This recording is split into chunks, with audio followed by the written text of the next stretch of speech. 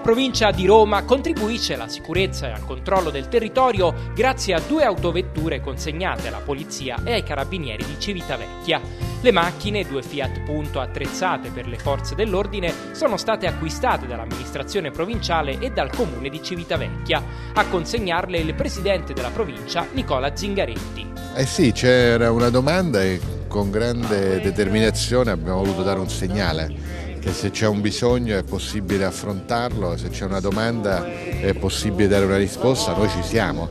In questo caso c'era una domanda di maggiore eh, vigilanza e due autovetture aiuteranno. Le due vetture verranno impiegate per i servizi di sicurezza sul territorio e il contrasto alla microcriminalità, andando a far parte dell'equipaggiamento del commissariato di Viale della Vittoria e della caserma di Via Antonio da San Gallo. moment to trigger.